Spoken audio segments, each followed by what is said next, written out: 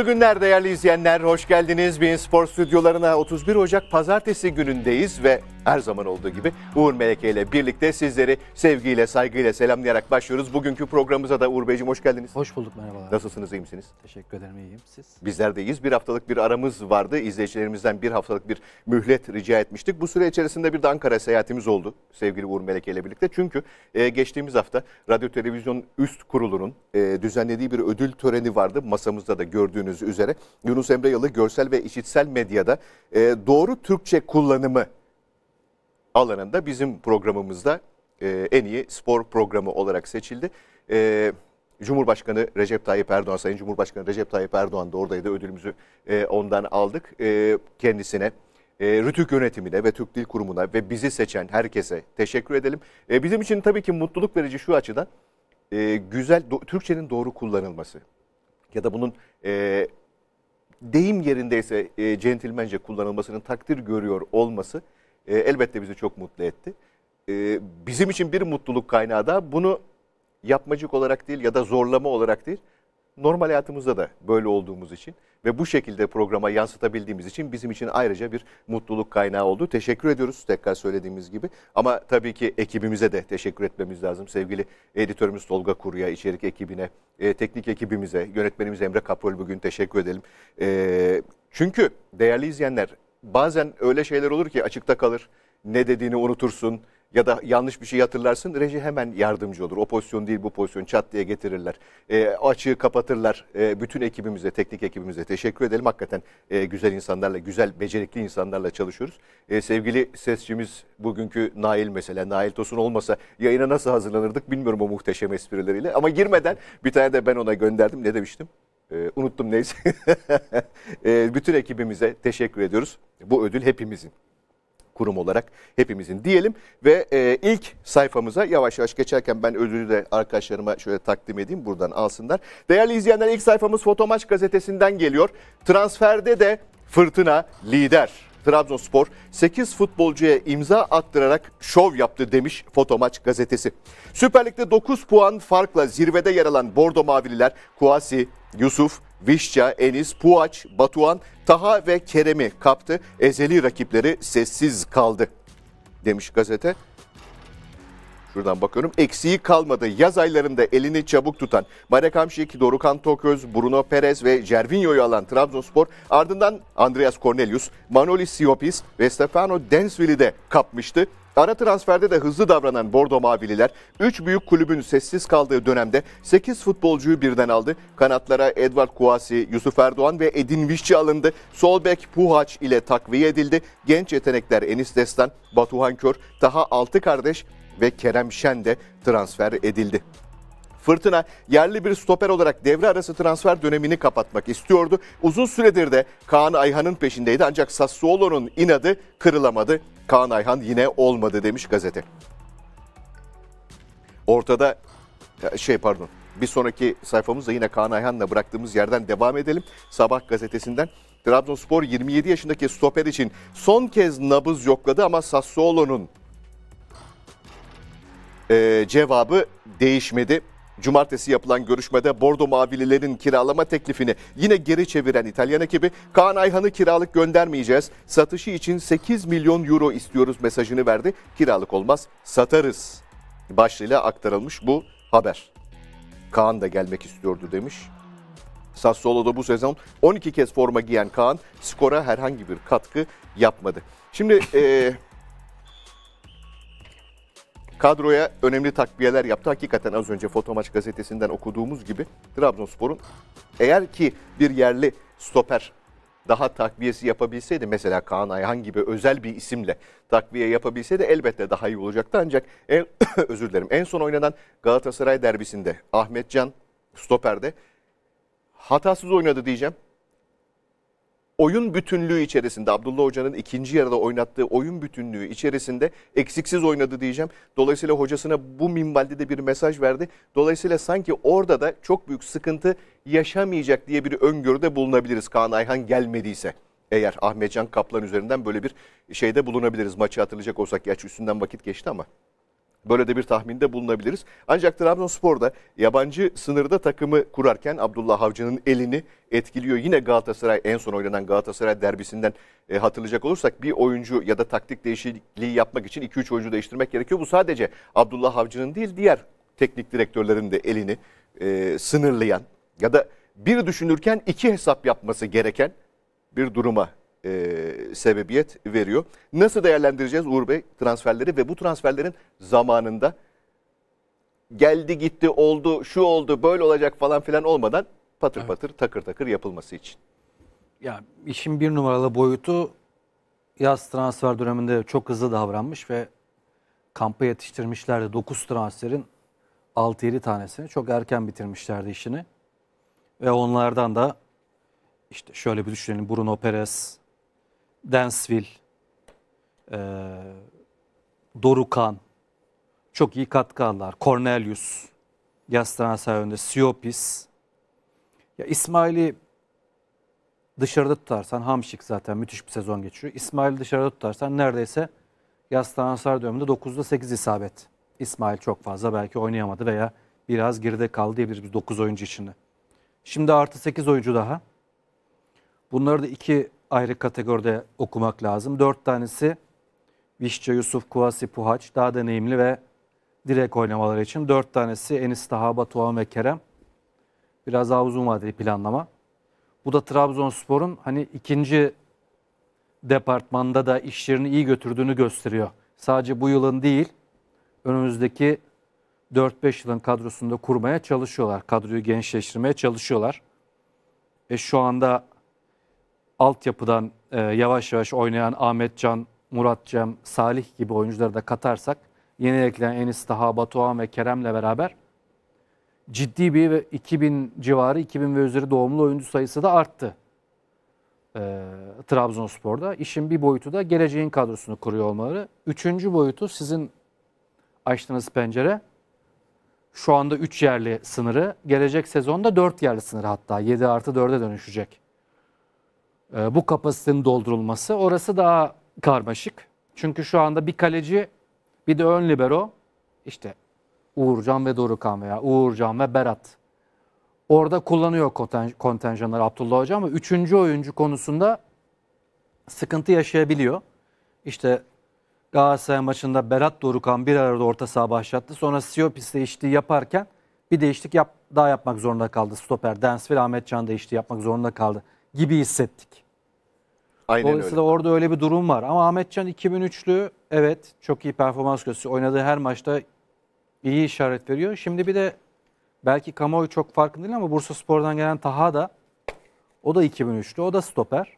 O da Bursa'da bu sezonun büyük bölümünde oynadı. Ligde yarısında hemen hemen Türkiye Kupası'nda da oynadı.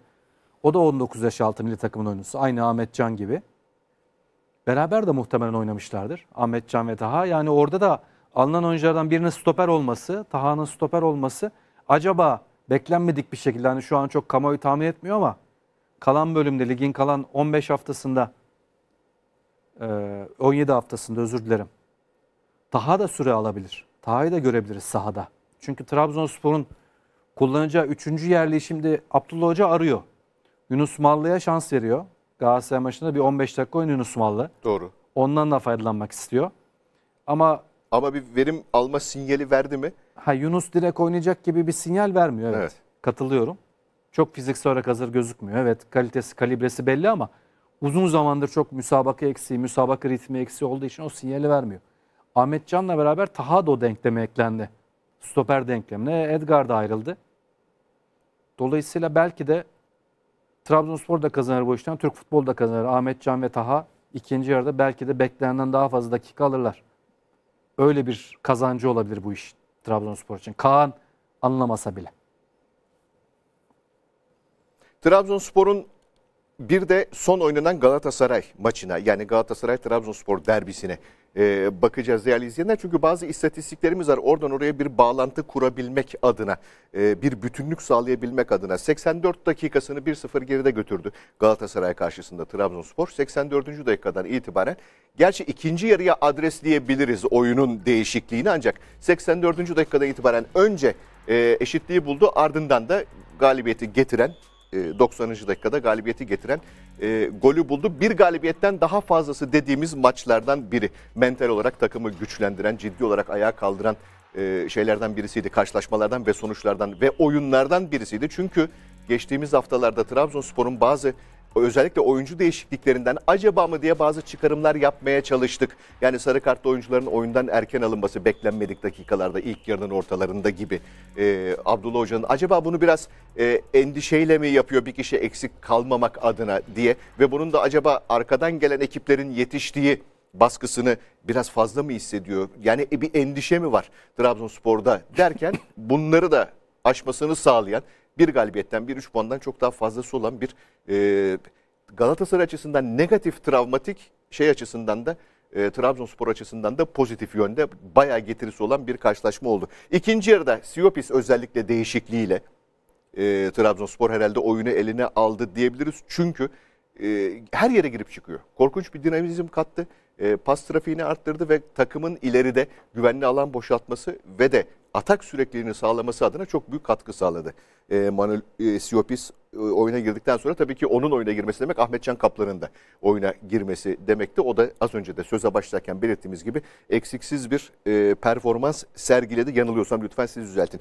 E, grafiklere geçmeden önce var mı maçla alakalı eklemek istediğiniz Şimdi- yoksa başlayalım mı?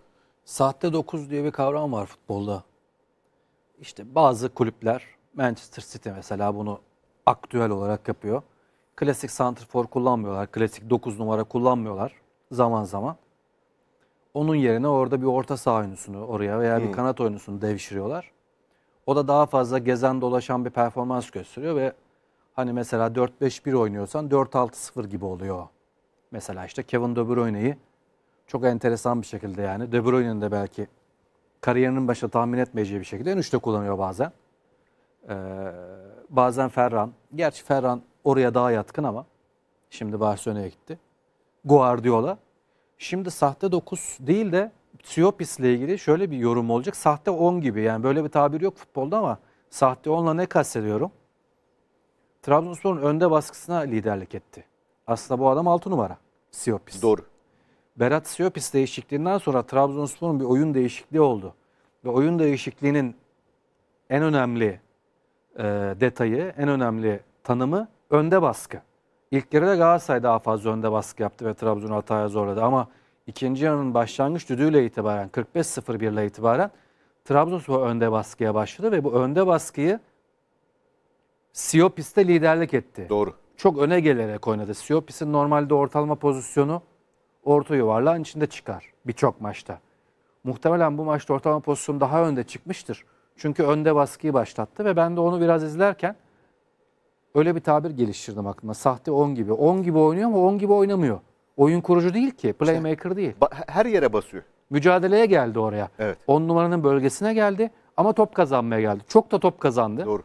Fiziğin de küçük olması çok büyük avantaj. Yani sen biraz daha büyük fizikli oyuncu topu kontrol ettim sanırken koltuğunun altından, ayağının yanından, belinin yanından giriyor Siopis. Yani fiziğinin küçük olması da çok büyük avantaj oluyor. Çok çevik. Koltuğun altından giriyor bir anda topu alıyor gidiyor sen hayret ediyorsun yani. Büyük fizikli bir oyuncu. Mesela Berat ona göre daha büyük fizikli. O hareketleri yapamayabilir. Yapamazdı hatta. Başka türlü kazanması gerekir. O yüzden Trabzonspor'un bu oyununu bir kazanım olarak kaydedebiliriz. Şimdi Trabzonspor'la ilgili sezonun sonuna yaklaşırken oyunuyla ilgili kaygı veren şey neydi? Bazı maçlar. Mesela Antalya maçı. Çok geri vites yapmıştı. Antalya 2-1'i buldu ama 70 dakikalarda 2-1'i bulacağı hissediliyordu. Antalya'nın o maçı çevireceği hissediliyordu. Veya biraz daha geriye sararsan ne bileyim Konya maçını kötü oynamıştı. Karagümrük maçını çok iyi, Adana Demir maçını çok iyi oynamıştı. Oynamamıştı. Ama en son Antalya maçı özellikle 1-1 iken Trabzon'un o skoru koruma içgüdüsü endişe vericiydi. Acaba sezonun geri kalanında dizler titrer mi? Trabzonspor daha fazla böyle benzer puan kaybı yapar mı? Düşüncesi oluşur. Galatasaray maçında o olmadı. O yüzden bu bir kazanım Trabzon için. Antalya maçında yaşadığı o kaygılı ikinci yarı görüntüsünü Trabzonspor Galatasaray maçında yaşamadı. O yüzden de bence de bir galibiyetten fazlası. Evet. Kaygıyı telafi etti. Bir ilaç, pres ilacıyla telafi etti. Şu anda tabii ki Trabzonspor'u konuştuğumuz için Trabzonspor cephesinden değerlendirdik. En son oynanan derbi maçı Galatasaray'la ilgili olarak birazdan e, ilerleyen dakikalarda da yine o açıdan Galatasaray Sarı Kırmızılılar açısından da bakacağız son oynanan derbiye. Böyle değerlendirdik karşılaşmayı değerli izleyenler. Peki 84. dakika önemliydi aslında. e, 39. dakika daha önemliydi ama onu sonraya bırakalım. Uğurcan'ın kurtardığı e, o inanılmaz şut ya da savunmadan seken top onu birazdan konuşuruz ama grafiklerimize başlayalım. Şimdi 84 Trabzonspor'un 84. dakikadan itibaren çevirdiği maçlar. Fenerbahçe maçı 1-1 devam ederken 87. dakikada Bakasetas ve 90. dakikada Yusuf'la skor 3-1'e geldi. Beşiktaş maçı 1-1 devam ederken 90 artı 6. dakikada Cornelius'la skor 2-1'e geldi. Ee, izleyenler hatırlayacaktır. Beşiktaş'ın yüklendiği, arkada büyük boşluklar bıraktığı ve e, hani şey açısından, gol açısından Tamamen Trabzon'un kontratak. ha, e, hızlı bir şekilde geldiği bir pozisyondu. Altay maçı 1-1 devam ederken 88. dakikada Cornelius'la skor 2-1'e geldi. Galatasaray maçı az önce de söyledik 1-0 gerideyken Trabzonspor 84. dakikada Bakasetas ve 90. dakikada Vişça ile skor 2-1'e geldi. Peki bu şeyler ne işe yarıyor? Bu istatistikler bir sonraki sayfamız size daha net gösterecek. Maçların son 15 dakikalık bölümlerinde en az gol yiyen takımlar sıralamasını yaptı. Editörümüz Tolga Kuru. Avrupa'nın önde gelen ligleri ve bizim ligimiz. Maçların son 15 dakikalık bölümünde en az gol yiyen takımlar Trabzonspor 0. Avrupa'da ise büyük liglerde gördüğünüz gibi Sevilla, Porto, Marsilya, Mainz ve Napoli son bölümlerinde 15 dakikalık bölümde birer gol görmüş kalesinde Liverpool, Bilbao, Krasnodar ve Feyenoord'da ikişer golle takip ediyorlar.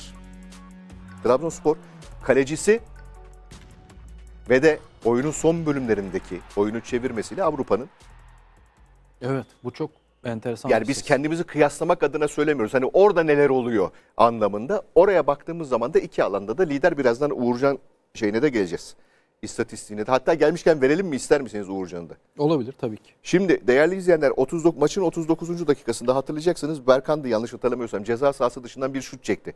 Ee, Berkan Vitor Hugo'nun ayağına çarptı ve e, Uğurcan e, kendi soluna gitmişken kendi soluna gitmişken hatta giderken geriye dönüp hakikaten jeneriklik bir kurtarıştı. Muazzam bir iş yaptı.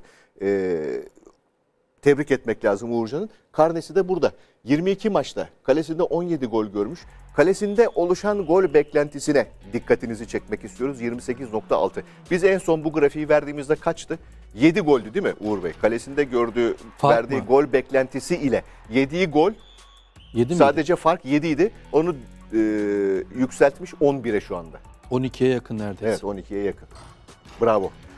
Evet şimdi iki istatistik de çok etkileyici. Yani Trabzonspor'un Avrupa'nın önde gelen 10-12 ligi kaç taneyse orada Abdullah Avcı'yı son 15 dakikada Tebrik gol yemeyen tek takım olması o da çok etkileyici.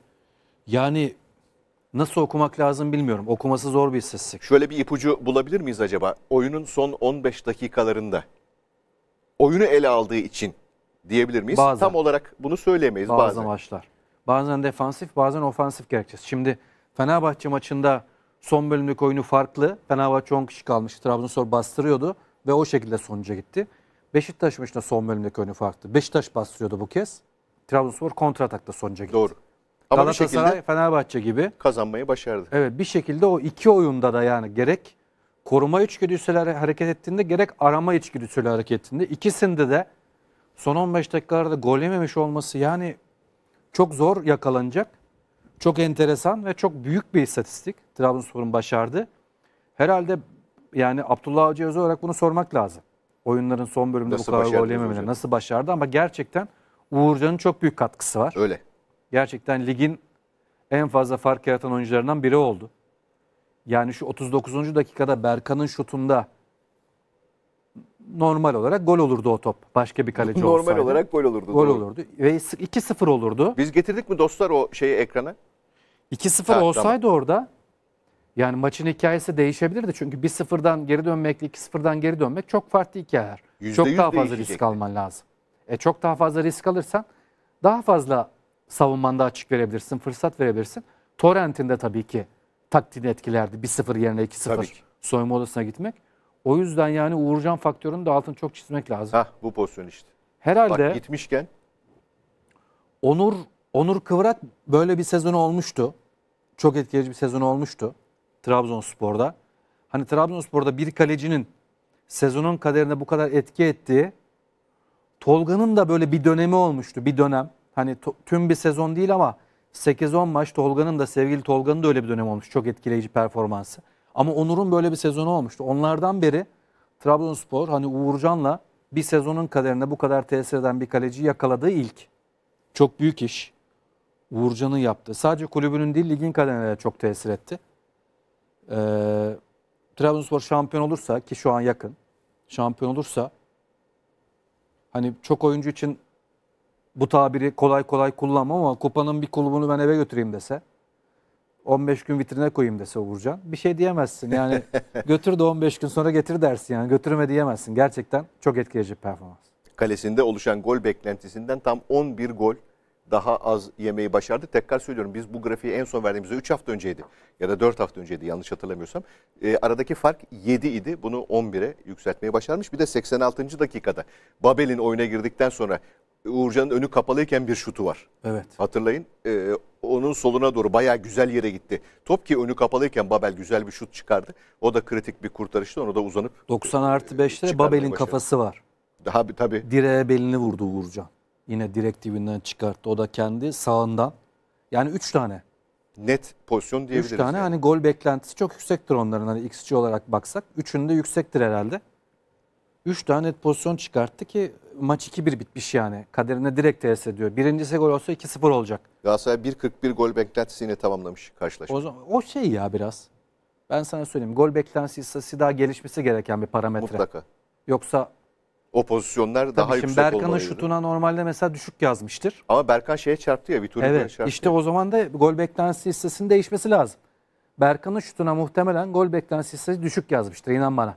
Ama savunmaya çarptığı andan itibaren o beklenti değişmesi lazım.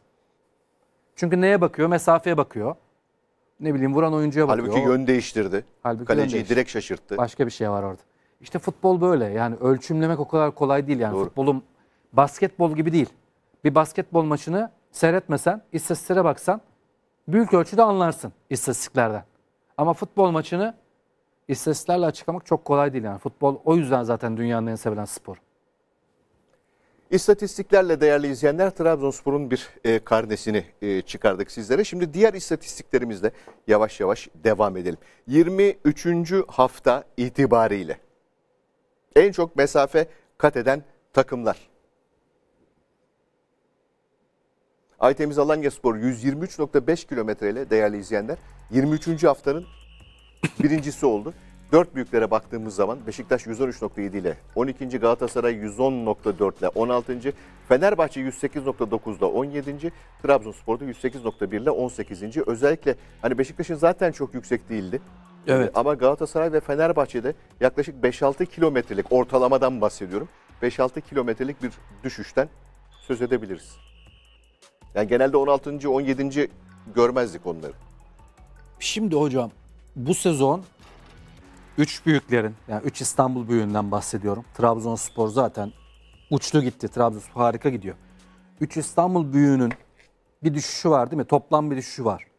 Bir sürü istatistikte olağanüstü gerideler. Kendi tarihlerine ekstra negatif rekorlar yazıyorlar filan. Bence hani bunu açıklamak için tabii birçok şey, birçok veriden faydalanabilirsin ama faydalanabileceğin verilerden biri bu koşu mesafeleri. Yani bundan da faydalanabilirsin bence. Beşiktaş, Fenerbahçe, Galatasaray gitgide haftalar geçtikçe hep dikkat edersen ligin ikinci yarısında o 20'nin ondan sonraki bölümünde kalmaya başladılar. Sezonun başında özellikle Galatasaray, Fenerbahçe'nin daha iyiydi. Onlarda düşüş var. Bir koşu mesafelerinde bu bir, bir geride kalma var İstanbul'un büyüklerinde. Bir de duran top istatistiği. Bugün baktım ben 6-7-8 üçünün 1-6, 1-7, 1-8 duran toptan bulduğu gol sayısı. Beşiktaş, Fenerbahçe, Galatasaray'ın toplam 21 yani. Ortalamaları 7. Mesela Sivas'a bakıyorsun 15. Adana Demir'e bakıyorsun 12. Konya'ya bakıyorsun yine 11-12. Trabzonspor'un yine yüksek. Bir de duran top performansları. Mesela onu da ekleyebilirsin. Galatasaray, Beşiktaş, Fenerbahçe, İstanbul 3 büyüğü bu sezon gerek bu koşu mesafelerinde gerekse duran top performanslarında ofansif defansif geride kaldılar. Evet. İkinci halkada kaldılar. Bu puan tablosuna da direkt Yansıdı. olarak yansıdı. Bir de burada Alanya Spor'a parantez açalım. O zaman Alanya Spor'a parantez açarken oyuncu bazında en çok mesafe kat edenleri de getirelim Getirelim. ekrana. Burada da iki tane oyuncusu var. Emre Akbaba 134.4 koşmuş. 13.4.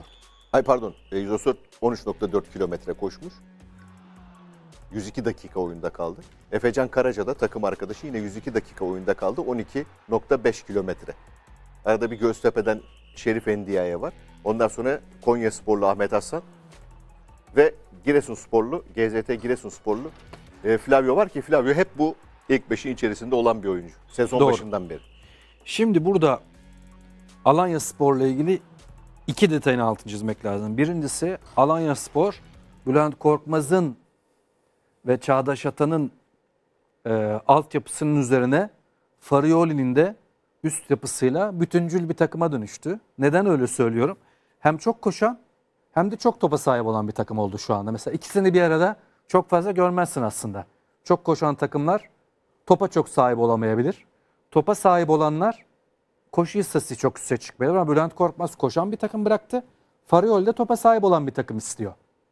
Zaten kendine özgü, çok spesifik, tarif edilebilir bir oyun planı var. Gelir gelmez de Alanya onu monte etti, adapte etti. Zaten Alanya geçmişte vardı. Çağdaş Hoca ile beraber. Dolayısıyla Alanya böyle kendine özgü bir takıma dönüştü. Bir onun altını çizmek lazım. Alanya Spor hani ligin dikkatle izlenebilecek, izlenmesi gereken son 4 maçta 10 puanla zaten çıkış yaşında olan takımlarından biri. Burada ikinci detay da dikkat edersen koşu mesafesinde birinci ve üçüncü olan oyuncular ofansif oyuncular. Biri 10 numara oynuyor, biri sağ açık oynuyor. Ön liberolar değil. Flavio ön libero. Ama burada sık sık gördüğümüz mesela Gustavo'yu sık görürüz, Hamşik'i sık görürüz değil mi? Orta saha oyuncusu. Ama Emre Akbaba 10 numara santifor arkası oynuyor.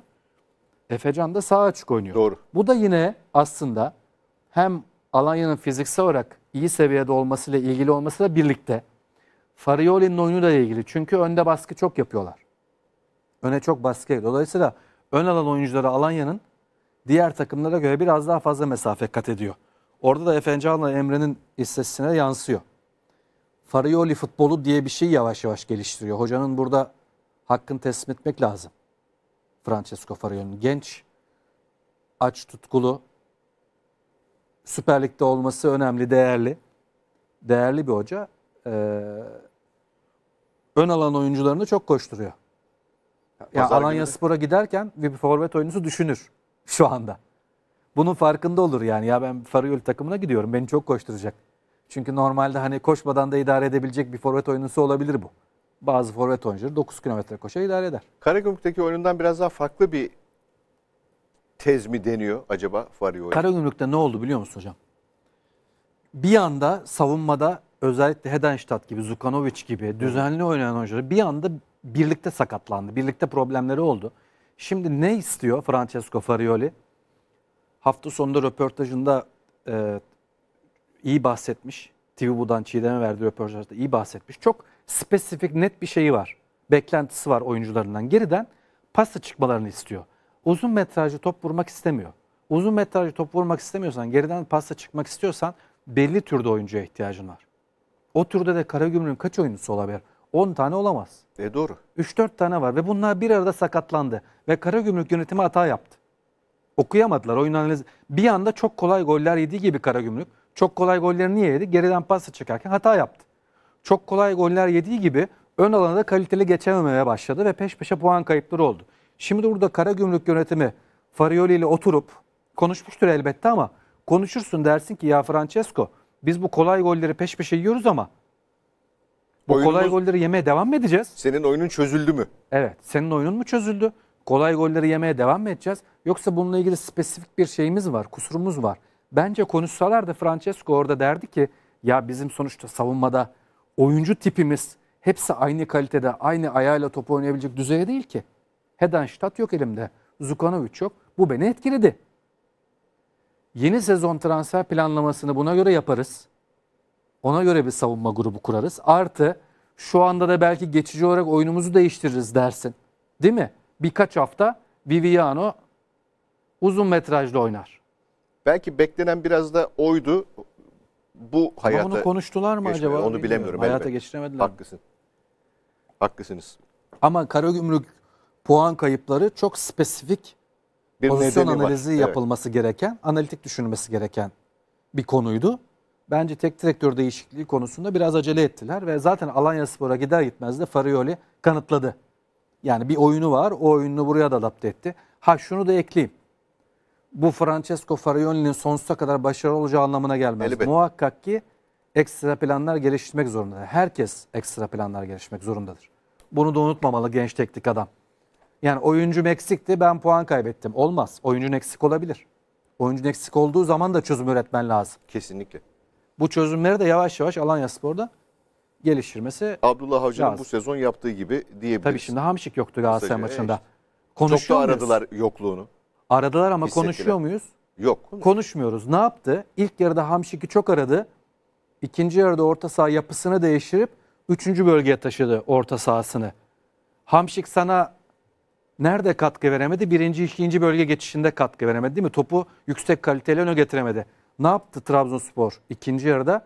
Birinci, ikinci bölgede top oynamadı ki üçüncü bölgede kazanıp sürekli pozisyon yönetimi yaptı. Böylece ne oldu? Hamşik'in eksiklerini daha az hissetti. Ki Vakayeme'den %100 faydalanabildiği bir maç da değildi. Vakayeme ceza sahasına uzak kaldı. Boyu çok çok uzak. kitli- çok haklısınız. Çok önemli bir detay. Vakayeme'yi çünkü boyu kilitledi. Evet. Artı şimdi o zaman burada madem Hamşik parantezini açtık Birliğe parantezini de açalım. Buyurun. Sen Hamşik'in yokluğunu çözerken avcı, Hamşik'in olmadığı maçlar çözüm üretirken Farioli Karagümrük'te Birliğe'nin olmadığı maçlarda sıkıntı yaşadı. Çözemedi. Adnan, Erhun gibi oyuncular aynı geçişleri sağlayamadı. Çözemedi. E, yeni bir plan üretemediği için Karagümrük peş peşe puan kayıpları yaşadı. Avcı çözdü. Arada 30 yaş fark var. Şüphesiz ki Doğru. Farioli kendi geliştirecektir. Çok önemli bir fark. Ve biz hani program olarak da yaşa değer veren programız. Tabii. Ya Yaş önemli.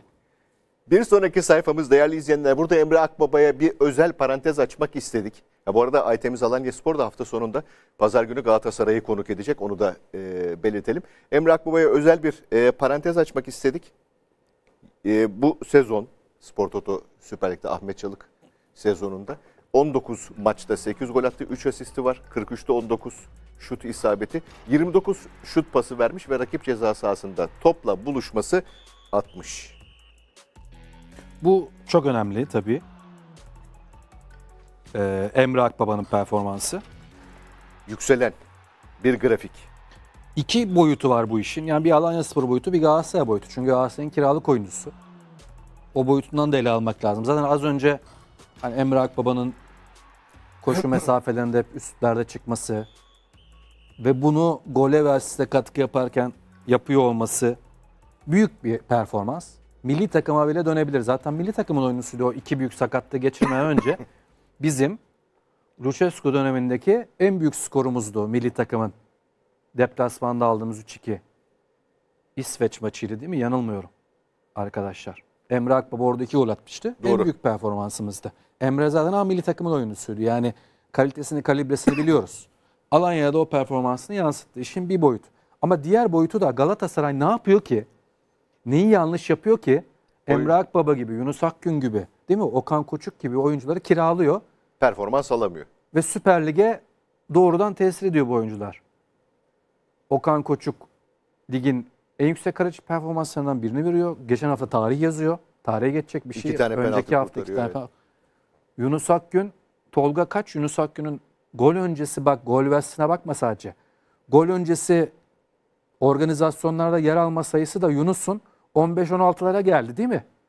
Bizim şeyde yok ama ilk İlk 5'te. 5'te yok evet. Ama sonraki 5'te falan var. İlk 10'da var. Yanılmıyorsam. Ya Yunus'un katkısını sadece gol ve asist olarak bakmamak lazım. Adana, Adana Demirspor'un ofansif organizasyonunun hep içinde var Yunus Akgün ve Emre Akbaba. Ligin en etkili 10 numara oyuncularından biri belki de birincisi. E Galatasaray'da o zaman kendi cephesinden bakması lazım olaya. Biz bu Okan, Yunus, Emre Akbaba'ya bu performanslarla sahip olabilseydik, bu oyuncular burada kalıp bunun yarısını verselerdi, hepsini demiyorum. Yarısını verselerdi ne olurdu acaba, ne kadar değişirdi? Bir de oradan bakmak lazım işe. Bahsettiğiniz golle biten hücumda yer alma konusu değerli izleyenler ilk 5'e bakalım. Edin Vişçe, Vakayeme son dönemde yaşadığı sakatlıklardan ve sahadan uzak kalması nedeniyle 3. sıraya gerilemiş e, durumda bu listede. E, Edin Vişçe birinci, Matias Vargas yukarıya doğru tırmanışını sürdürüyor. Defalarca konuştuk burada. Özellikle Vincenzo Montella geldikten sonra yukarıya çıkan bir istatistiği var. Muazzam bir oyun oynuyor e, orta sahada e, o bölgede kendi bölgesine gerek kanatta gerek orta sahada muazzam bir oyun oynuyor. Zaman zaman neredeyse hani belki çok iddialı bir ifade olacak ama durdurulamaz bir performans ortaya koyuyor diyelim. Tıpkı Vakayeme gibi ve Kasımpaşa'nın son dönemde yükselen oyunuyla birlikte Umut Bozok'un performansı da biraz daha parlamaya zaten parlıyordu ama biraz daha fazla parlamaya başladı ve o da burada dördüncü sırada. Efecan Karaca zaten buraların gediklisi oyunculardan bir tanesi yine beşinci sırada yer bulmuş kendisine. Golle biten hücumda yer alma sadece asist değil. Yani golle biten hücumda öyle ya da böyle bir şekilde akışkanlığı devam ettiren oyuncular sıralamasında ilk 5 böyle. Yani diyelim ki hücum orta sahada başladı. 6 oyuncu temas etti topa. O 6 oyuncu da bu istatistiğe giriyor. Gol öncesi topa Aynen dokunan 6 oyuncu da giriyor. Vakayeme, Vişça hep buralarda, hep zirvedeler. Dediğiniz gibi Vargas öyle. Efecan da buralarda ama Umut Bozok'un herhalde burada yeni ilk 5'te. Umut Bozok'un altını çizmek lazım. O da işte son 4-5 hafta Ancak Kasımpaşa'nın e, o üst üste yakaladığı galibiyetler ve yukarı doğru çıkan oyun grafiğiyle birlikte Umut Bozok da girdi. girdi. Sami Hoca'ya tebrik etmek lazım yeri gelmişken. Ki Kasımpaşa aslında Hakan Kutlu'yla böyle önde basan, domine etmesi gerektiğinden aşırı domine edebilen bir görüntüye kavuşuyordu. Hakan Kutlu'nun üzerine Sami Hoca da koydu. Tebrik ederiz Sami Hoca'yı. Yalnız burada tabii Umut Bozok'un rolü çok önemli. Şimdi Beşiktaş'ın bu sezonla ilgili eksiklerinden, arazilerinden bahsederken neyden bahsediyoruz? Abu Bakar sadece bir santifor eksikliği yaratmadı. Aynı zamanda bir oyun kurucu eksikliği Doğru. yarattı. Batshuayi ile aralarında bir istatistik vermiştik. O istatistiği de belki güncelleyip tekrar verelim Tolga önümüzdeki günlerde. Bir isabetli pas, pardon özür dilerim. Rakip yarı alanda isabetli pas istatistiği vermiştik. 100 fark vardı aralarında. 100. Verdiğimizde. Aynen öyle. Ki kaç hafta önce verdik. Belki 6-7 hafta önce verdik. Abu Bakar'la Batshuayi arası ki Batshuayi şu an formunda toparladı. Nazar değmesin. Abu Bakar'la Batshuayi arasında oluşan fark sadece gol ve asist farkı değil. Aynı zamanda oyun farkıydı. Şu Umut Bozok da Kasımpaşa'da yaptığı tesir sadece gol ve asist değil. Değil. Ki galiba gol ve asisti de böyle 9-4 falan oldu herhalde. Çok iyi sayılara geldi. Aynı zamanda geriye geliyor. Üçüncü bölgenin başlangıcına. Sırtı dönük oynayabiliyor. Stoperleri sırtında götürebiliyor. Pası veriyor, alıyor, dönüyor. Etrafındaki oyuncuları oyuna katıyor. Mesela bir süredir e, Kasımpaşa'da sezon başında çok ön plana çıkmayan bazı ofansif oyuncular ön plana çıkmaya başladı. E, Kasımpaşa'nın toplam performansının artmasında sadece e, Umut Bozok'un değil, bireysel performansı değil, Umut Bozok'un etrafındaki oyuncuların da performansını artırması önemli. Bu da onu kanıtlayan, Umut'un da bence milli takım için artık net bir adaydır. Zaten milli takım dün, bugün mü gördüm Bayram Bektaş röportajı gördüm bir gazetede. Diyor ki Avrupa Şampiyonası diyor diğer milli takımların diyor forvet rotasyonları çok derin. Kim oynatacaklarını şaşırıyorlar. Biz buraya mahkumduk diyor. Bir defa sevgili Bektaş onu kadroyu seçerken bir düşünecektiniz önce. Kadroyu seçerken Serdar Dursun'u götürmediniz. Burada aylarca Serdar Dursun, Serdar Dursun dedik. Birincisi o. İkincisi de artık tekrar onu yaşamamak için Serdar Dursun artık milli takım bir parçası ama Deniz Ündal, Belçika Ligi'ndeki Evet. ve Umut Bozok'u da katmamız lazım rotasyona. Oyuncumuz var. Oyuncumuz yok değil. Varken katmamız lazım. Bir sonraki sayfamız gol öncesi ortalama pas sayısı. Aytemiz Alanyaspor. Burada s- sezon başından beri hep zirvede olan takımların üzerine çıkmış durumda. Evet değil mi? 11.5 ile Orada değildi. değildi. Karagümrük oradaydı, Başakşehir oradaydı. Trabzonspor, buradaydı. oradaydı. Beşiktaş buradaydı. Ama Alanya değildi. Galatasaray buradaydı. Galatasaray da e, 7'lerden 7.4'lerden 7.3'lerden 5.9'a kadar gerilemiş. Şimdi tabii işte bu Francesco Farioli futbolunun hani net tanımlanabilir, e, elle tutulabilir, somut Etkisi. kanıtlarından biri bu. ortalama pas, gol öncesi ortalama pas sayısı genelde yüksek Farioli takımlarında. Karagümrük de hala o etki sürüyor. Çünkü Farioli dönemi büyük bölümü zaten ligin 23 haftada 17-18'i Farioli dönemiydi. Alanya'da da o etki hemen kendini gösterdi. Ee, hem skor istatistiği olarak fırladı Alanya. Çok gol atıyor. Hem de bu golleri seri pas trafiğiyle buluyor. Ha futbola tek bir doğru yok. Az pasta da gole gidebilirsiniz. Sakın yanlış anlaşılmasın. Konyaspor 5.5 pas ortalamayla gole gitmiş. Onların yaptığı da doğru. Alanyaspor 11.5 pas ortalamayla gole gitmiş. Onların yaptığı da doğru. Sakın yanlış anlaşılmasın. Ama e, şu gerçeği de kabul etmek lazım. Ee, iyi futbol iyi futbolcuyla oynanıyor. İyi skor iyi futbolla alınıyor. Son 10 yılda 20 yılda bana 5 büyük ligde topa daha az, rakibinden daha az sahip olarak şampiyon olan bir takım söyleyin. Ben söyleyeyim Leicester City var. %42 ortalamayla şampiyon oldu. O da bir peri masalıdır. 100 kere denesen 99'unda olmaz. Şimdi gerçekçi olalım. Ya Leicester City böyle şampiyon oldu o yüzden böyle şampiyon olunabilir diyemezsin. Dil var Fransa'da o da zaten %50'nin altında değil %50'nin üzerinde. Ama evet tamam belki çok dominant bir top oynamadan şampiyon oldu. 100 kere denesen o da 90'ında olmaz. Dolayısıyla Alanya Spor'un oynadığı oyun bir büyük takım oyunu. Ve genelde büyük liglerde, top 5 ligde, top 15 ligde böyle şampiyon olursun. Başka türlü şampiyon olmak, başka türlü zirve yarışı yapmak kolay değildir. O yüzden de Alanya Spor'un futbolunu bir kez daha burada tebrik etmek lazım. Oyuncu kadrosunda, teknik kadrosunda.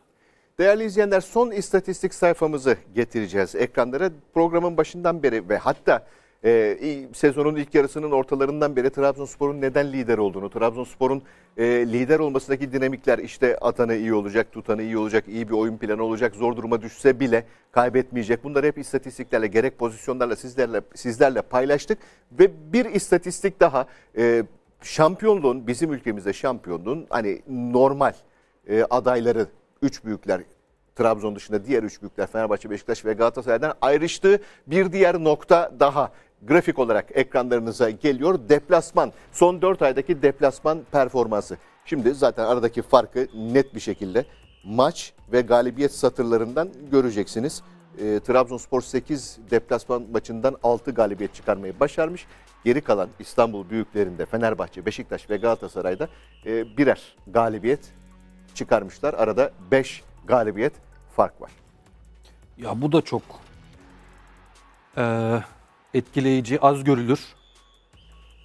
Tarih boyunca çok sık rastlamadığımız, hani ben kendim anma söyleyeyim, 30 küsür yıldır Süper Lig'i yakinen takip ediyorum.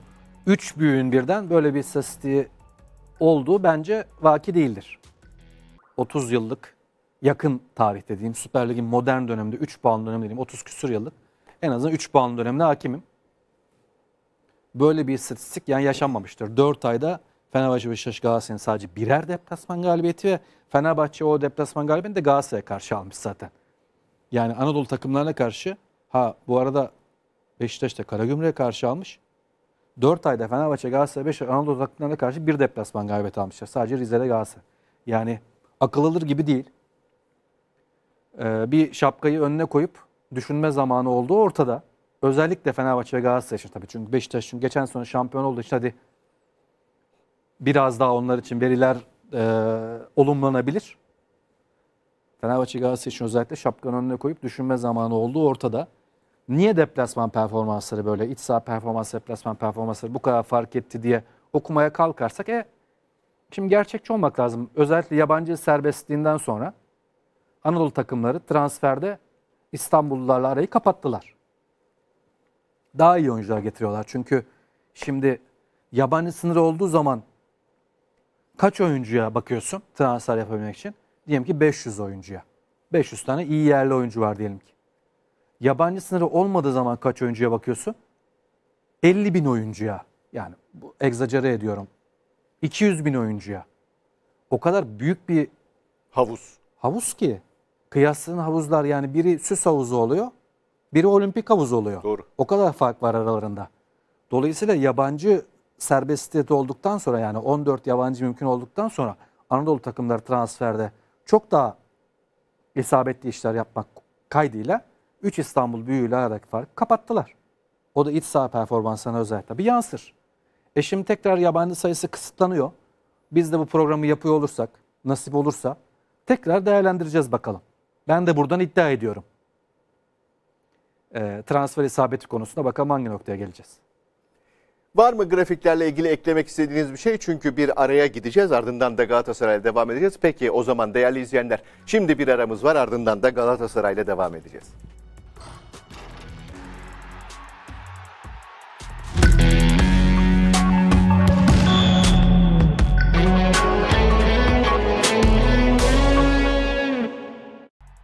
Tekrar birlikteyiz değerli izleyenler. Fanatik gazetesi geliyor ekranlarınıza. Gomis hayırlı olsun. Aslan aradığı golcüyü buldu. Sarı Kırmızılılar forvet hattı için eski yıldızı Buffett'in bir Gomis'le anlaştı. Fransız futbolcuyla bir buçuk yıllık sözleşme imzalanacak. 36 yaşındaki futbolcu bu süre içerisinde 2 milyon euro kazanacak. Ayrıntılar şöyle.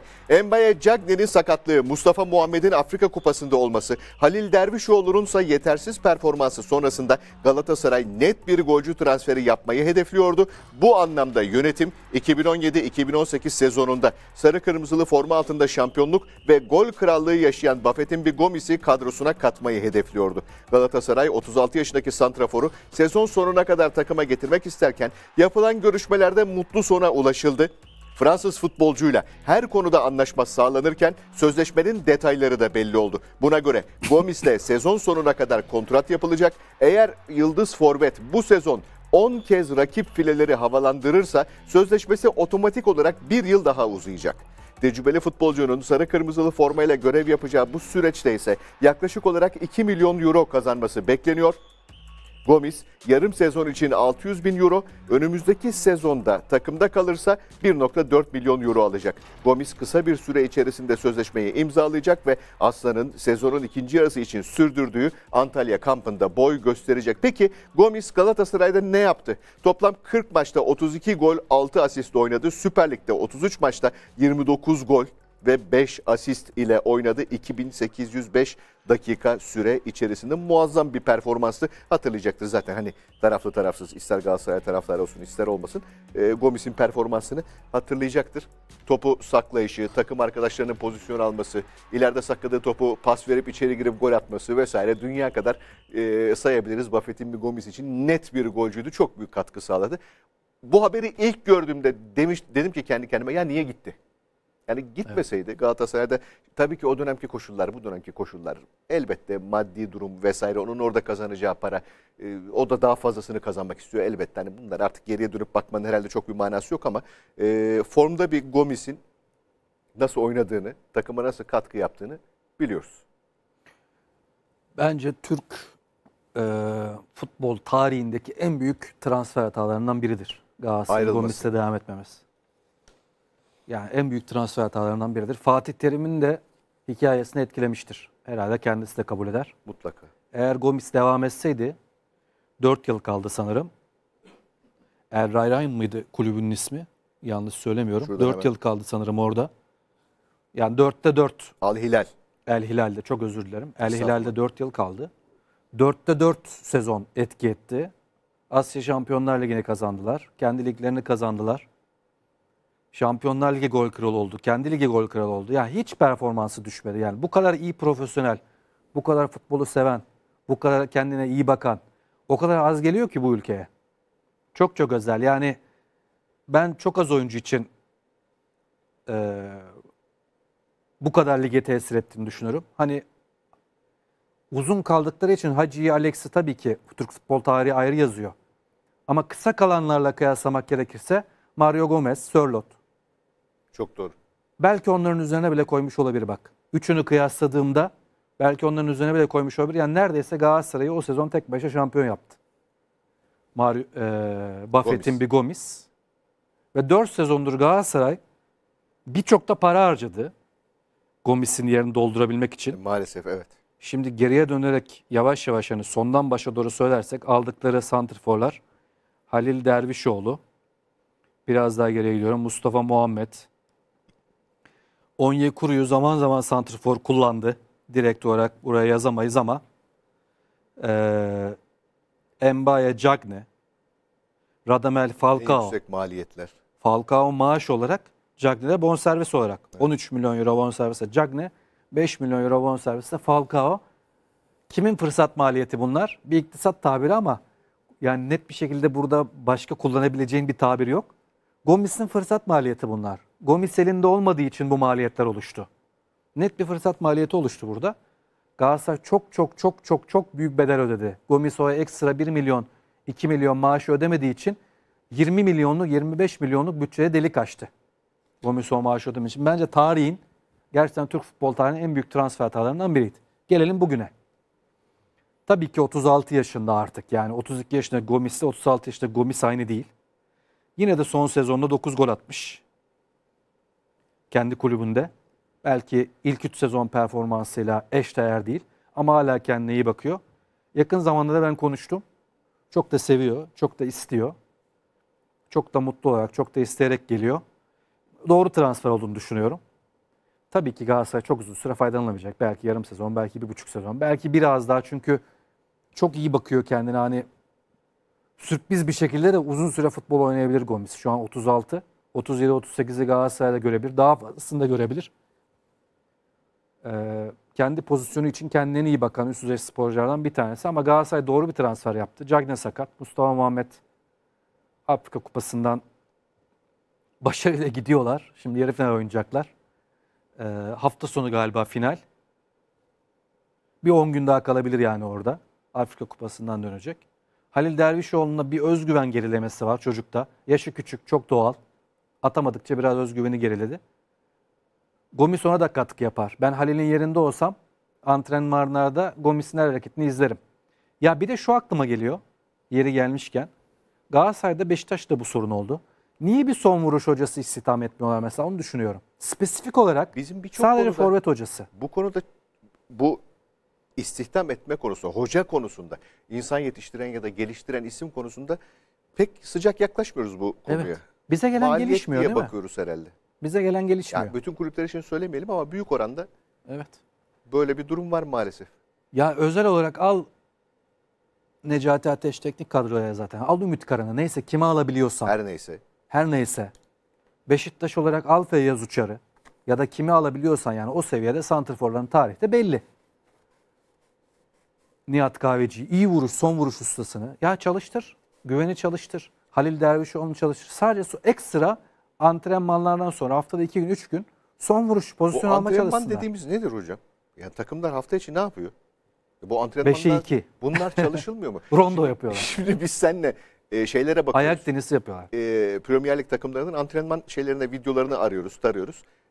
Yani orada ne bileyim e, hızlı gelen top şu kadar kilometre, 50 kilometre, 75 kilometre, 100 kilometre e, bir alanın içerisinde stop etme ya da e, yüksekten gelen topu ne kadar e, kaç hamlede, tek hamle mi, iki hamle mi, e, taç atışları vesaire bunlar hep çalışılıyor. Yani ikili üçlü gruplar halinde saat saat çalışılıyor. Bizde yok mu böyle şeyler? E peki ne yapıyor oyuncular? E, Taylan Taktik Antalyalı çalışıyorlar? 26-27 yaşında Galatasaray'a geldiğinde ya da e, ilk sezonun ikinci yarısında süper bir performans gösterdi. Antalya maçıyla başlayan. Hak ederek A milli takıma çıktı. Şimdi bu hafta yaptığı hataya bak. Bu hafta yaptığı Trabzon hata maçı için evet Trabzonspor maçında yaptığı hata için yargılamıyorum ben çocuğu. Çocuk iyi futbolcu, milli futbolcu. Ama bir gram mı gelişmez insan?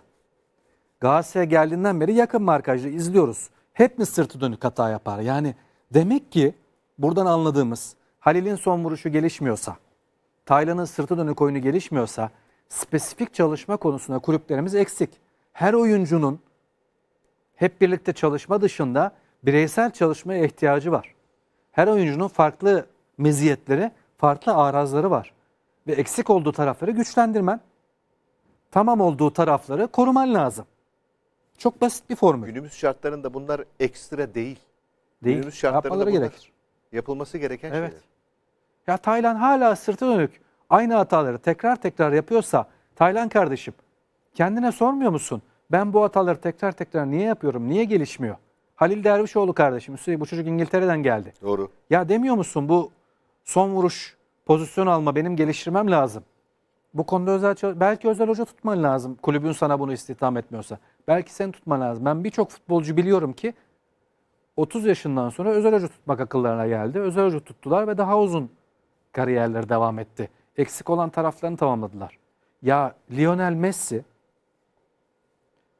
Messi şimdi diyorlar ki mesela izleyici ya bu Messi tam aksine kardeşim Messi'nin gelişmesi daha zordur.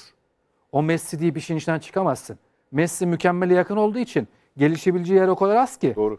Messi'nin gelişmesi Halil'in gelişmesinden, Taylan'ın gelişmesinden daha zor. Yanlış matematik yürütüyorsunuz. Ben Messi ile ilgili örnek verdiğim zaman ha ha alay edebilme şansın yok. Messi'nin gelişmesi, Ronaldo'nun gelişmesi daha zordur. Çünkü gelişebilecekleri alan onların daha az. Neymar'ın gelişmesi daha zordur. Messi 30 yaşından sonra frikiklerini geliştirdi. Messi frikiklerini geliştiriyorsa sen de geliştireceksin. Çalışacak. Messi geliştirebiliyorsa. Bu kadar basit. Messi'nin 30 yaşından önce attığı frikik golü sayısıyla 30 yaşından sonra attığı frikik golü sayısına bakın. Dağlar kadar fark var. 30 yaşından sonra dünyanın en çok frikik golü atan oyuncularından birine dönüştü. Bu adam 30 yaşından önce frikiklerde birinci opsiyon değildi. Messi gelişiyorsa sen gelişeceksin. Mecbursun gelişmeye. Kulübün çalıştırmıyorsa sen çalışacaksın. Sen eksik olan taraflarını izleyeceksin. Video analiz yapacaksın. Aklına başına güvendiklerine soracaksın, danışacaksın. Yani o yüzden nereden geldik? Galatasaray'ın, Beşiktaş'ın hatta birçok kulübün forvet hocası istihdam, etmemesini ben anlamıyorum ya. Anlamıyorum. Yani varsa tabii bilmiyorum da ama gördüğümüz kadarıyla yok. Bildiğimiz kadarıyla. Bildiğimiz kadarıyla, Olsa okurduk herhalde. Ya sadece forvetlerini son vuruş çalış- çalıştıracak özel olarak bir tane eski efsanevi santrforunu ya da o konuda uzman birini istihdam etsene kardeşim. Liverpool taç hocası isti- istihdam ediyor. Liverpool'un taç hocasına ihtiyacı mı var? Sineğin kanadından yağ çıkarıyorlar. işte. Tabii Daha ne taç kadar bu yani. gelişebilirim diye. Evet. Sen taç hocası istihdam etmek bir yana dursun. Duran top seti çalışmak bir yana dursun. Bunlar daha e, ana yollar, esas meseleler. Özür dilerim. Bunlar palyatif meseleler. Daha şey, tali yollar. Ana yol ya. Son vuruş geliştirmek direkt tabela. Direkt tabelaya etki edecek. Galatasaray olarak bir de sen diyorsun ki ben gol beklentisinin 9'un altında kaldım. Bir de bu istatistik olarak kanıtlanmış. Sen Galatasaray olarak diyorsun ki benim golcü performansım düşük. O yüzden hak ettiğim puanları alamadım. E madem bunun farkındaysan niye Ekim ayında, Kasım ayında al bir tane. Yani Necati vardı teknik kadroda. Özel olarak çalıştır forvetlerini. Necati diyorum. Sakın yanlış anlaşılmasın. Futbolcu Necati'yi izlediğimiz için bazen böyle hani Bildiği için. saygı eksikliği olarak algılanmasın sakın. Hani futbolcu Necati olarak bildiğimiz için futbolcu Necati'den bahsediyoruz. Tabii ki şu an Necati Hoca. Bir sonraki sayfamız Akşam Gazetesi'nden diyor ki kale Pena'ya emanet. Sarı Kırmızılılar İspanyol file bekçisiyle sezon sonuna kadar anlaştı. Fernando Muslera'nın sakatlığı sonrasında kalede sorun yaşayan Galatasaray bu problemi Barcelona'dan Inaki Pena ile çözdü. 22 yaşındaki kaleci 4 aylığına Sarı Kırmızılıların kalesini koruyacak. Burada bu transferde Torrent'in katkısı büyük. Galatasaray'ın ve hemen buradan e, Milliyet'e geçiyorum. Milliyet gazetesine Galatasaray'ın Katalan teknik direktörü Domenech Torrent Barcelona'daki kontaklarını kullanarak kalecide rotayı Inaki Pena'ya çevirdi. Eski çalışma arkadaşlarından gelen olumlu referansların ardından genç file bekçisi transfer edildi. Genç eldiven bu sezon bazı La Liga maçlarında A takımın kadrosuna alınmasına karşın hiç forma şansı bulamadı diye hatırlatıyor gazete. Bu arada Galatasaray'da beklentileri karşılayamayan Asunsao ve Yedlin'den sonra Luyendama ile de yollar ayrıldı. Sarı Kırmızılılar gözden düşen tecrübeli stoperin sezon sonuna kadar Suudi Arabistan ekibi Al Tabon'a kiralandığını açıkladı. Galatasaray 8 milyon euro bonservis bedeliyle kadrosuna kattığı Luyendama'yı bedelsiz gönderdi. 6 aylık ücreti Suudi ekibi tarafından karşılanacak Luyendama'nın sözleşmesinde 3 milyon euroluk satın alma opsiyonu da bulunuyor. Kaleye de önemli bir takviye yapmaya hazırlanıyor Galatasaray. Ya tabii e, 22 yaşında Barcelona'dan e, B takımında oynayan bir kaleciyi almak kötü bir transfer değil. Ama tabii geçici bir çözüm. Çünkü satın alma opsiyonu bildiğim kadarıyla yok. Zaten Bildiğimiz satmak yok. da istemiyor Barcelona. E, İspanya U21 takımında da Brentford'un kalecisinin arkasında alternatif. Brentford'da oynayan kalecinin arkasında alternatif. Zaman zaman her takıma da üçüncü kaleci olarak eklemliyorlar. Dolayısıyla Iñaki Peña gelecek planlarında olan bir kaleci. 22 yaşında, yaşı da biraz belli bir seviyeye gelince oynaması için tabii kiralamak istemişler. Bu daha çok Barcelona'ya yarayan bir hamle gibi görünüyor. Ama Galatasaray'da işte yarım sezon faydalanacak. Yani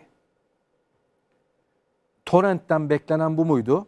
Tabii kısa vadeli bu ama Torrent'ten bence bir spor sever olarak beklenen bu kadar deneyimli, E, Bu kadar Guardiola ile beraber çalışma. 3 tane büyük ligde şampiyonluk değil mi? Acayip kulüp ilişkileri, tek direktör ilişkileri, oyuncu ilişkileri olması lazım. Çok üst düzey yüzlerce oyuncuyla çalışmış. Galatasaray tabii bu yaşlarda daha kalıcı oyuncular O- takviye olayın tavsiye bir de etmesi. mali boyutu var. Devre arası dönem olması boyutu var. Yani Şu an belki zor ama aynen öyle. yeni sezonda devam ederse Torrent hani yaz transfer döneminde fark yaratması lazım bence.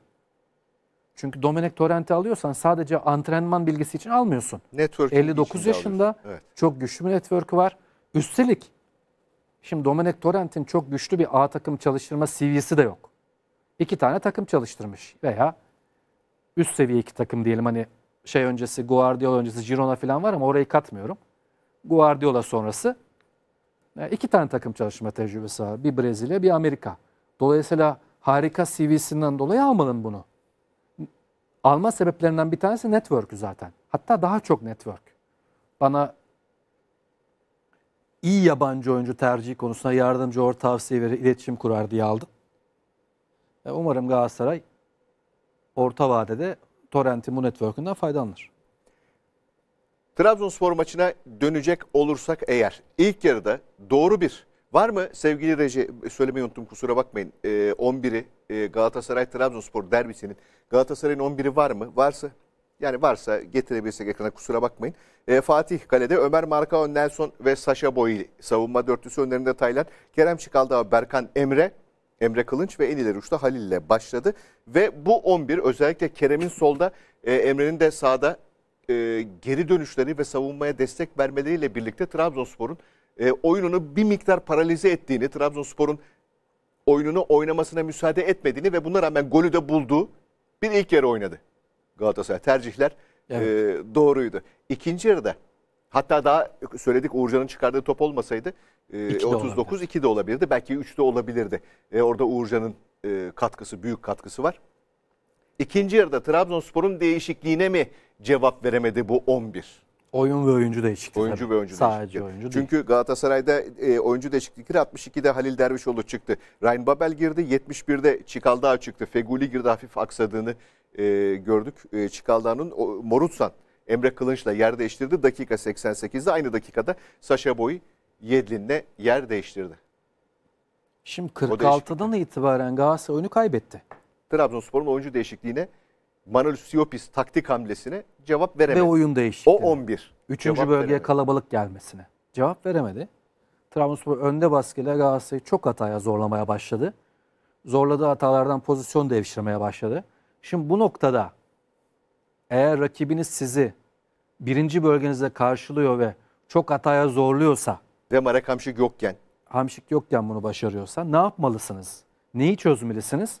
Geriden daha akılcı çıkmanız lazım. Bunu çıkamıyorsunuz. daha sakin çıktı. Daha kaliteli, daha sakin çıkmanız lazım. Daha fazla topa sahip olmanız lazım. Topa sahip olamıyorsunuz. Tenis filesinden döner gibi toplar geri dönüyor. Vuruyorsunuz, geri dönüyor. Vuruyorsunuz, geri dönüyor. Atak devamlılığı sağlıyor Trabzonspor. Senin de atak yapabilmen lazım. Yani ikinci yarıda mesela Torrent diyor ki iyi oynadık, karşını alamadık. Mağlubiyeti hak etmedik. Şimdi ilk 45 için doğru. iyi Doğru. oynadı Galatasaray. Çünkü önde baskı yapan Galatasaray'da. Ama ikinci 45'in aynı şeyi düşünmüyorum. Orada da iki değişiklik var. Biri santrafor değişikliği, biri 10 numara değişikliği. Şimdi santrafor ve 10 numara değişikliği Galatasaray'ın geriden çıkış kalitesini artırmadı ki.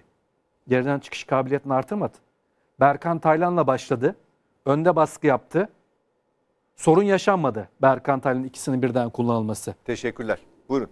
Ya 11'imiz 4-2-3-1 oynadılar bu arada. Aslında sezon boyunca böyleydi Galatasaray biliyorum. Arkadaşların şeyi yok. Hatası yok.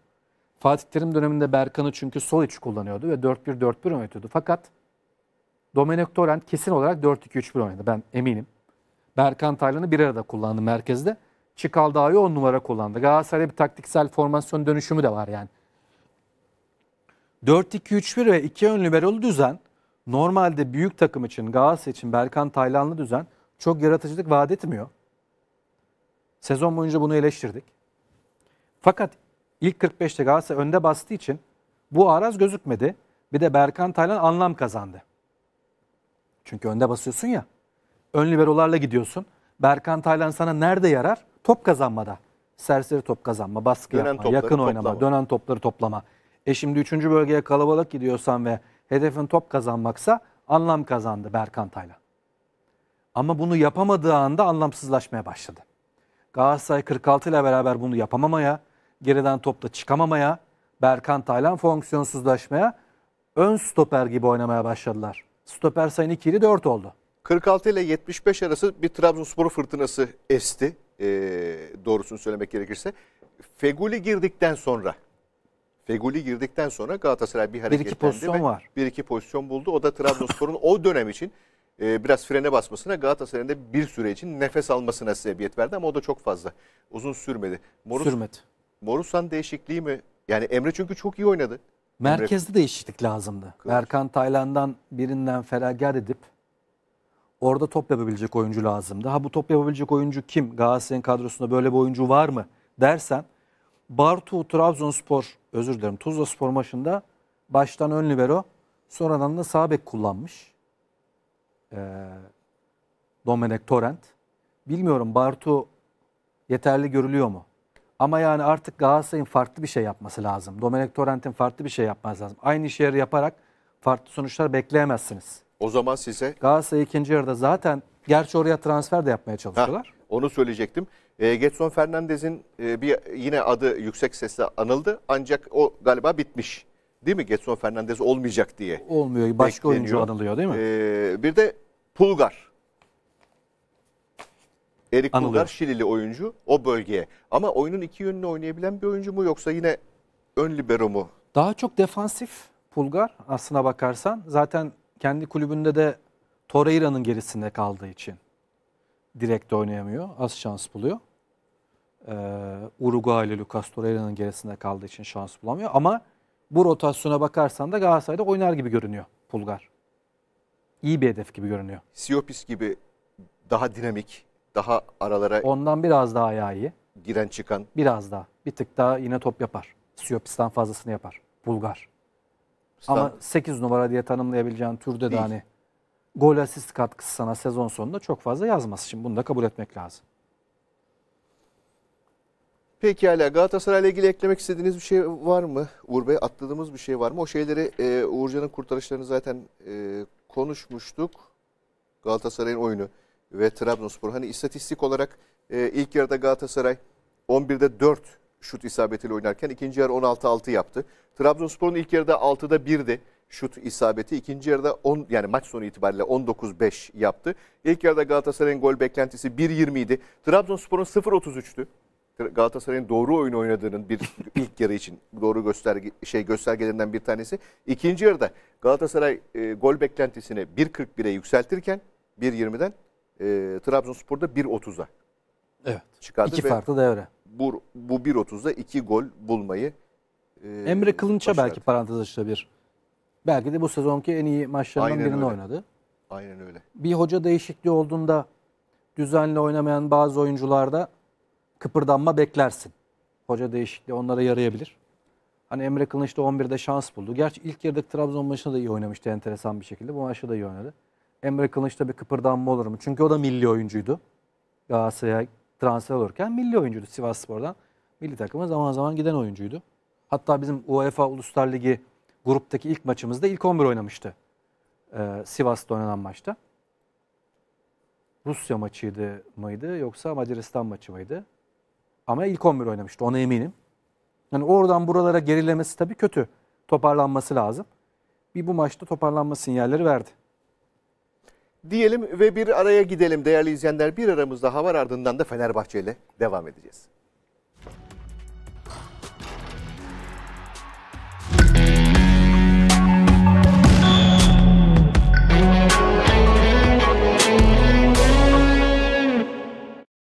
Bu bölümde ilk olarak ekranlarınıza gelecek olan başlığımız Yeniler Başakşehir maçına yetişebilir. Fenerbahçe Solbek Gizlen Konan'ı kısa süre içerisinde açıklamaya hazırlanıyor. Forvet Haris Seferovic konusunda da büyük aşama kat edildi. Anlaşma an meselesi Sarı lacivertliler iki yıldızını, iki yeni yıldızını Başakşehir maçına yetiştirebilir. Şöyle bakıyorum taraflar artık Seferovic konusunda son detayları görüşüyor. 29 yaşındaki oyuncunun transferinin bu hafta içerisinde bitmesi bekleniyor. Yönetimin hedefi her iki oyuncuyu da cumartesi günkü Başakşehir maçına yetiştirebilmek. Gizleyin Konan hazır bir şekilde gelecek. Seferovic ise sakatlığı nedeniyle Benfica'nın son 3 maçında görev yapamamıştı ancak İsviçreli oyuncunun bu hafta çalışmalara başlayacağı öğrenildi. Yine transfere ayırmış ilk olarak e, haberler büyük puntolu başlıklarını. Bir sonraki sayfamız ise Sabah gazetesinden geliyor. Mesut en iyisini ortaya koyamadı. İsmail Kartal, ben ve oyuncularım iddialı olduğumuz için buradayız derken yıldız futbolcusu hakkında da konuştu. Bu sene lig bitti gibi bir düşüncede değiliz. 3 kulvarda da iddialıyız. Bence Mesut en iyisini ortaya koyamadı. Tedavisinden sonra daha iyi başlayacaktır. Daha iyi olacaktır. Biraz daha sorumluluk alması şart.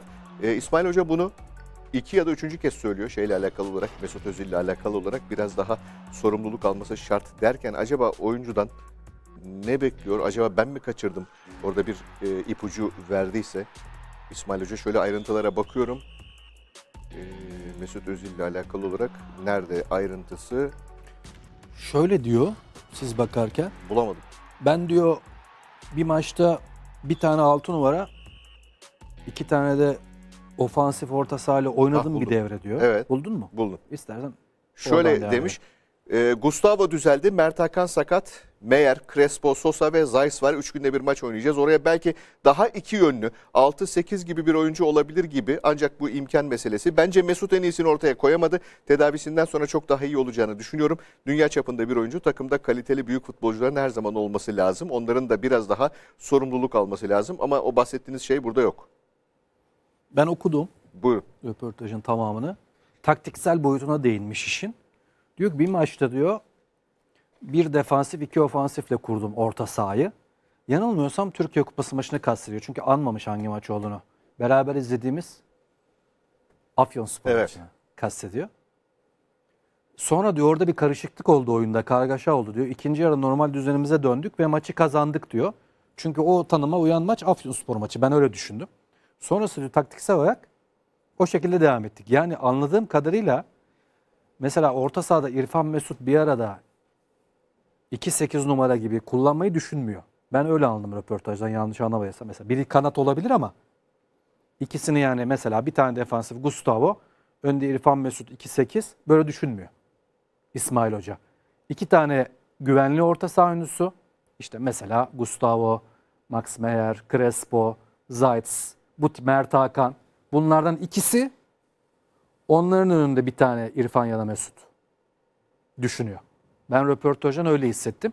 4-2-3-1 gibi yani daha çok kafasındaki formasyon. Torrent'in de bu hafta kullandığı gibi Galatasaray'da. Bu koşullar altında da o iki orta saha kullanacağı yerdeki rotasyonu güçlendirmek istiyor röportajdan. Bir tane diyor oyuncu transfer etmemiz lazım oraya. Yani yine orta saha istiyor. Meyer var, Sosa var, Zayis var. Crespo var, Zayt var, Mert Hakan var orada. Bir orta saha oyuncusu istiyor yönetimden. Ee, Yine de Osayi ile Ferdi'yi de önde kullanmak istiyorum. Yani bek olarak düşünmüyorum diyor. ki mantıklı. Ee, Mesut Özil'in daha fazla sorumluluk alması lazım. Bunu bu bahsettiğiniz cevap yok bence içinde. Şimdi bu taktiksel Röportajda. çerçeve içinde Mesut Özil'i düşündüğü yer 10 numara. Mesut Özil'e Dolayısıyla dersin ki sevgili Mesut e, muhteşem bir kariyer. Bu takımın atıyorum yani tamamen varsayımsal. Yani bu takımın en önemli yıldızlarından birisi. Hatta en önemli yıldızı sensin. Takım senin şek- etrafında şekillenecek. Senin de buna göre e, arkadaşlarını yönlendirmen, takıma abilik yapman, bir yıldız gibi davranman. Yani Evet. hakkını teslim edeceğiz dersin. Ama her röportajda da bunu ne bileyim bunu söylenmesi bana garip geliyor. Yani Mesut'un daha fazla sorumluluk alması. yok bugün telefonla konuştum diyor. Konuşuyormuş kendisiyle. Röportajda öyle bir şey de var.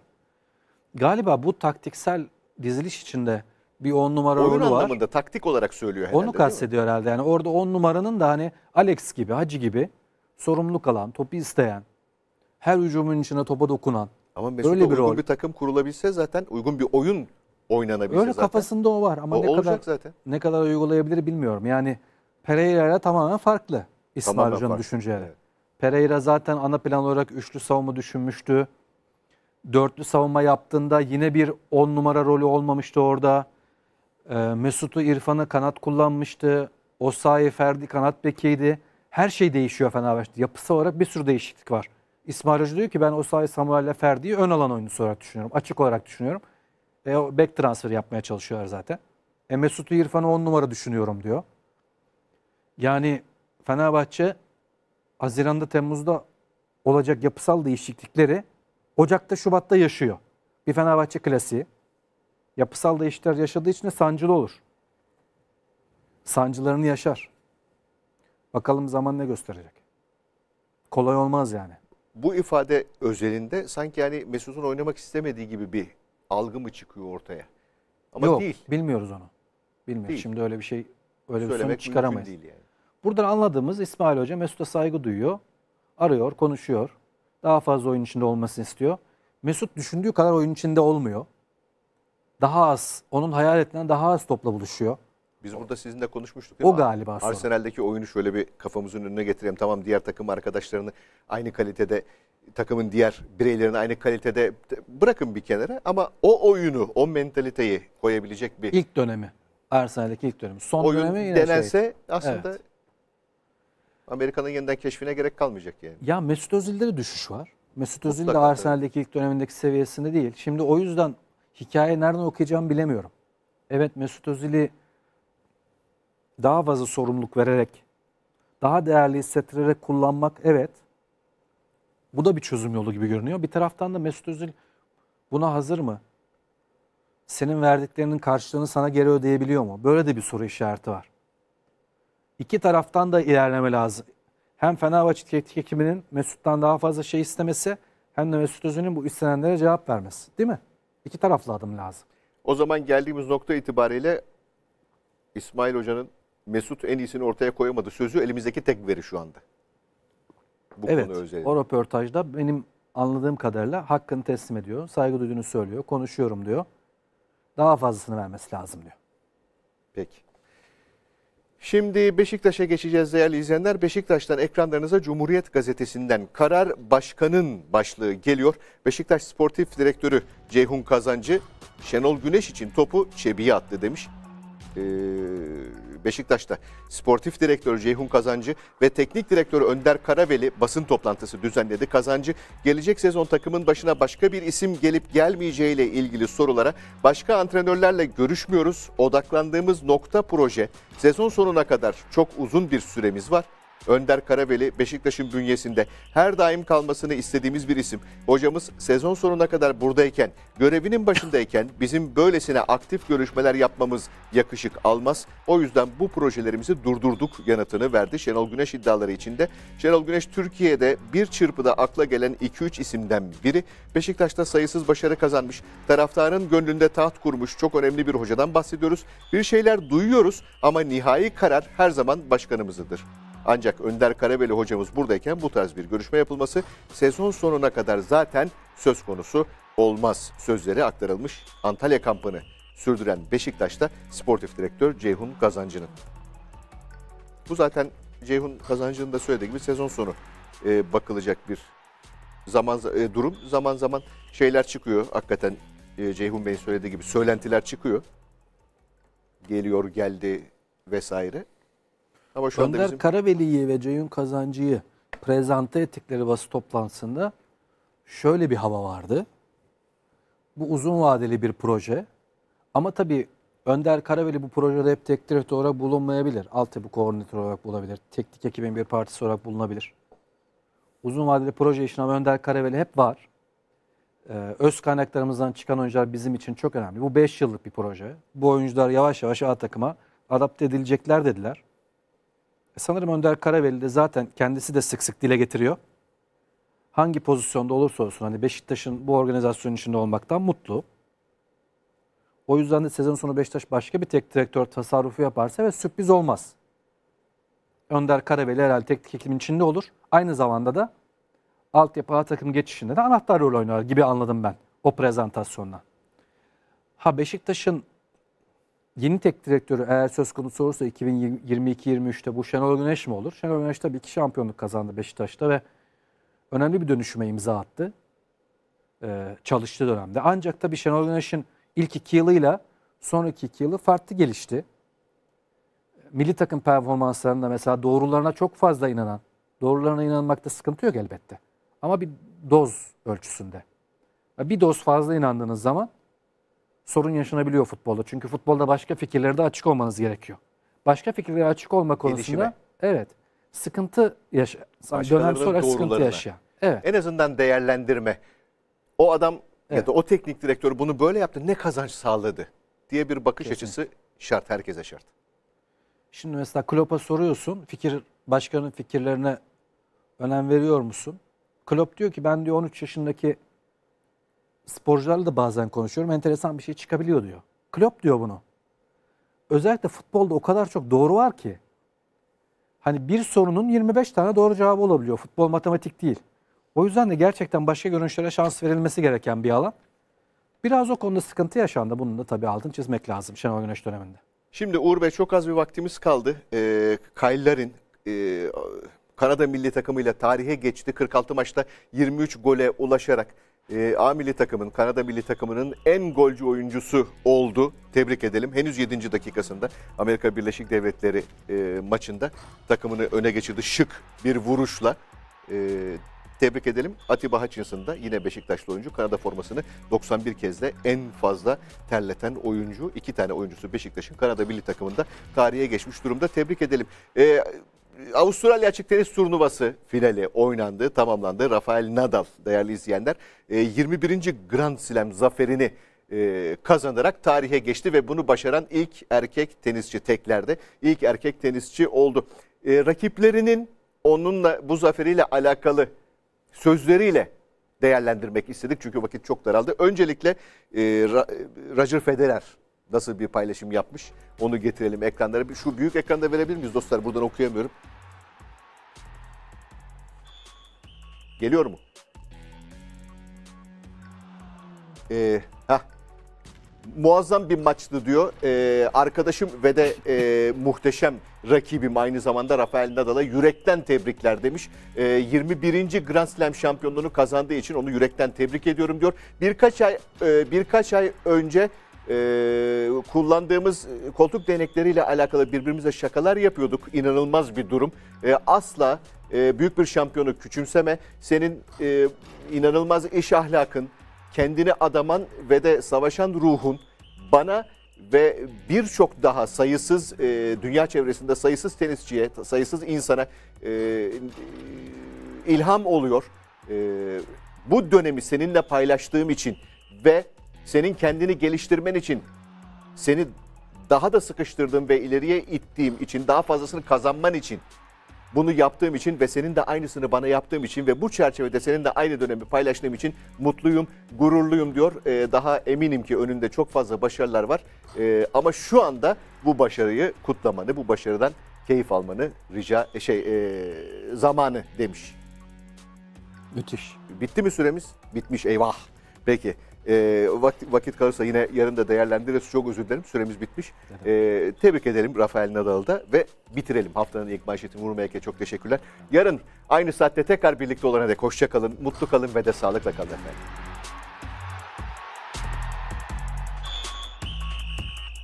you